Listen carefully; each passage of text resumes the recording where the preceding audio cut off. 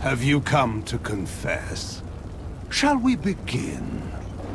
And what secret shall be your soul's undoing?